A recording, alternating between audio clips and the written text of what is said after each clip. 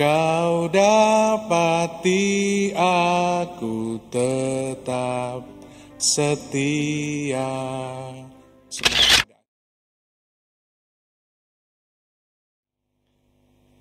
Oma opa, ibu bapak, saudara-saudari, teman-teman muda, serta anak-anak yang dikasihi Tuhan. Sebelum saya memulai permenungan pada sore hari ini, saya ingin bertanya kepada Anda semua, baik yang hadir di gereja maupun yang mengikuti Ekaristi secara live streaming dari saluran MNC. Kalau ditanya, di sekitaran Kelapa Gading ini kan yang paling dominan banyak menurut kacamata saya ya, itu yang dijual adalah bakmi. Ya. Bener nggak ya? Bener ya, oh, semua setuju pasti. Pertanyaannya adalah, kalau disuruh memilih, Anda lebih suka makan bakmi yang ada di sekitaran Kelapa Gading ini, atau memilih sama-sama mie juga, tetapi mie instan. Saya tidak perlu menyebutkan mereknya. Kalau disuruh memilih, lebih suka yang mana? Suka yang mana, Pak? Dua-duanya. Ada mungkin sebagian dari kita suka Tunggu sebentar. Oke. Ini tim AV-nya memang lagi bercanda sama saya nih kayaknya. Ngomongin bakmi karena mereka belum pernah ditraktir bakmi sama saya. Ada sebagian dari kita mungkin lebih memilih modelan makan bakmi yang ada di sekitaran Kelapa Gading atau di tempat lain. Artinya ya harus kelihatan diolah, dimasak dan lain sebagainya. Tetapi juga mungkin sebagian dari kita suka model mie yang instan. Kalau dilihat dari prosesnya mungkin lebih cepat yang instan. Namanya juga mie instan ya. Jadi cepat cepat saji, cepat dibuat, cepat dinikmati. Dan dari sisi baunya ya mungkin lebih menggoda mie yang produk instan itu ya. Kemarin ada perbincangan saya dengan frater dan beberapa teman yang lain. Kalau kita yang pada umumnya sehat, sampai ditawari mie instan dan tidak selera, menurut atau konon ceritanya berarti sedang sakit yang sakit saja masih bisa menikmati mie instan dengan aroma yang begitu menyentuh hati. Bapak Ibu saudara-saudari terkasih soal pilihan bakmi saya serahkan kepada Anda semua ya. Saya tidak memaksa, mau pilih yang bakmi model yang ada di sekitaran Kelapa Gading dengan segala macam merek-mereknya ya. Atau juga mie instan juga dengan segala macam merek-mereknya. Hari ini kita mendengarkan bacaan-bacaan di Ekaristi Minggu Biasa ke-19. Ada satu kata yang muncul dan itu kerap diulang terutama juga kalau melihat bacaan Injil yang versi panjang. Jadi ini ada dua, bacaan keduanya ada yang versi panjang, bacaan Injilnya ada yang versi panjang.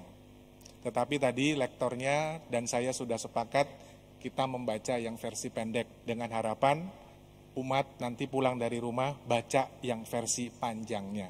Ya. Ada PR lagi. Silahkan nanti baca versi panjangnya. Tapi satu kata ini yang sering kali muncul di dalam bacaan Injil adalah dan juga di dalam bacaan kedua terutama yaitu kata setia.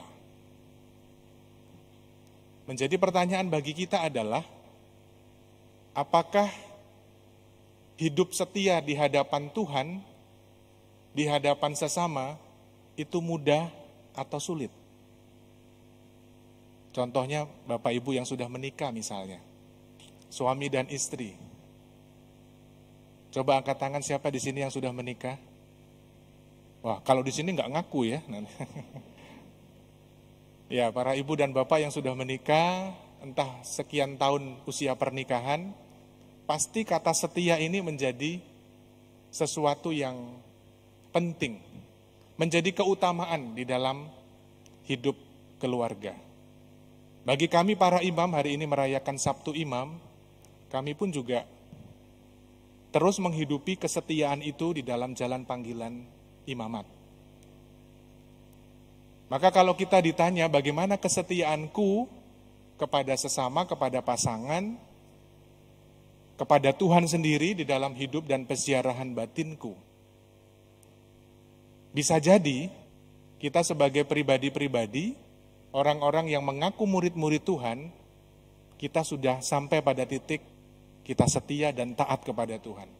Kalau sampai pada level itu bersyukur, berbahagia kalau dalam bahasa bacaan Injil tadi. Kesetiaan itu diumpamakan oleh Yesus sendiri, seorang hamba yang setia didapati oleh tuannya melakukan pekerjaan-pekerjaan yang baik. Mau ada tuannya, mau nggak ada tuannya, tetap melakukan pekerjaan-pekerjaan yang baik. Mau tuannya datang, mau tuannya datangnya nanti, tetap setia melakukan seorang hamba melakukan pekerjaannya dengan baik. Pertanyaan bagi kita di dalam hidup keluarga, di dalam komunitas, di dalam pelayanan, kita mau melakukan sesuatu yang baik, apakah karena memang dorongan dari dalam diri kita, kecintaan dan kesetiaan kita kepada Tuhan, atau sebetulnya kita punya hidden agenda, saya pas lagi setia-setianya kalau, selalu kita ada kalau ya kan. Kalau pas lagi hidup saya lagi oke, okay, lagi makmur, lagi saya setia Romo. Tapi pas lagi terpuruk, lagi menderita, lagi kesusahan, boro-boro ngomongin setia ya. Gambaran hamba yang setia ini juga ditunjukkan oleh Abraham dalam bacaan yang kedua. Abraham menunjukkan sikapnya kepada Allah dengan setia dan taat di dalam tugas perutusan yang diberikan oleh Allah kepadanya. Tidak selalu mudah, tetapi itulah yang menjadi tantangan di dalam kehidupan beriman kita. Hamba yang setia ini juga digambarkan di dalam bacaan pertama kitab kebijaksanaan adalah orang-orang yang hidup di hadirat Allah. Orang-orang yang hidup di hadirat Allah berarti mereka yang sungguh setia melakukan perbuatan-perbuatan yang baik, bertahan dalam keadaan apa pun. Kalau pas lagi bahagia, tetap melakukan pekerjaan-pekerjaan Tuhan. Kalau pas lagi dalam keadaan bahaya, dalam keadaan kesengsaraan, dalam keadaan penderitaan, tetap melakukan pekerjaan-pekerjaan Tuhan. Menjadi hamba yang setia itu ukurannya bukan seperti tadi yang saya katakan antara bakmi yang di sekitaran Kelapa Gading ataupun bakmi yang instan.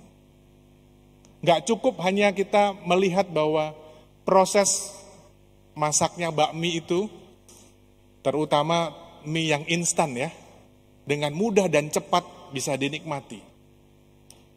Tetapi proses menjadi hamba yang setia lebih panjang prosesnya daripada itu semua.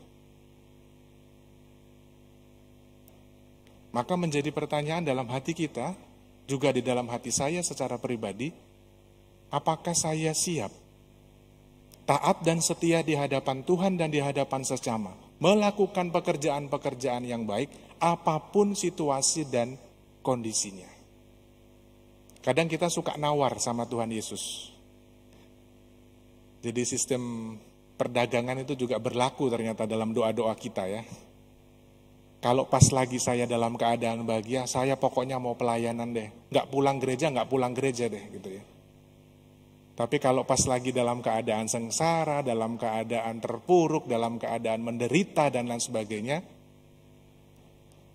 kita banyak bikin litani ya, litani penderitaan. Kok aku begini, kok aku begitu, kok aku begini, kok aku begitu dan seterusnya.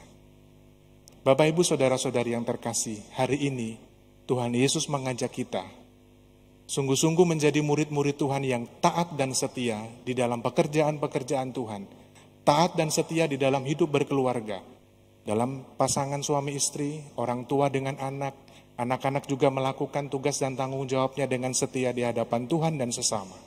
Dan inilah yang dikehendaki oleh Tuhan, supaya pada akhirnya kita didapati tetap setia di dalam perjalanan hidup kita. Maka di bagian terakhir, seorang hamba yang setia itu yang digambarkan dalam bacaan Injil tadi mengungkapkan doa-doanya. Dan di dalam doa itu hamba yang setia mendaraskan sebuah syair doa yang bagi saya sangat menyentuh dan moga-moga kita semua bisa menjadi semakin terinspirasi, semakin diteguhkan di dalam pesiarahan hidup kita. Begini doa dari hamba yang setia itu. Selidiki aku, lihat hatiku, apakah ku sungguh mengasihimu, Yesus, kau yang maha tahu dan menilai hidupku, tak ada yang tersembunyi bagimu